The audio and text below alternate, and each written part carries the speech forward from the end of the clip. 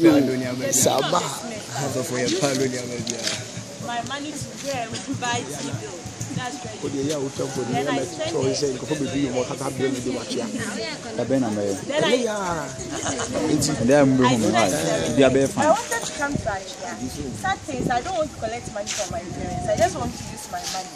And I said to myself that I will not come to Accra without my kids to. So I have double payment. Wow. So my my actual amount has to come in December. That's the three months uh, I got.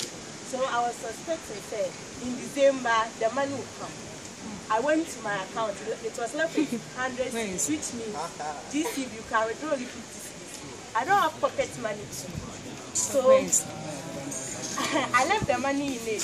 So my money got finished. And it was on the 14th. And I have to pay for it. So one week to Atwea, then I went, I said I'm going to withdraw the 50 cedis so that I'll spend it. And I know that by the time we come there, they will bring the uh, actual money so that I'll, I'll withdraw 100 cedis and come and pay for it. To verify God, when I went, I went with Abigail. I checked my balance. My actual amount hasn't come, but I was shocked. There was an extra money in my account.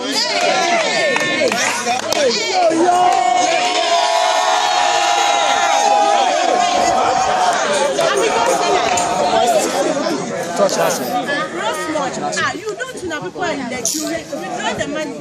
And I said, I know someone has deposited money in my account, but no one has called me. And she said that maybe they deposited the actual money. And I said that it should be more than this if that's the amount.